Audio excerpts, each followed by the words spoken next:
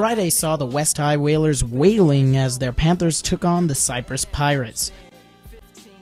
Connor Squire was in fuego from three. The rest of the team shot 35%. This allowed the Panthers to dominate down low and score easy baskets.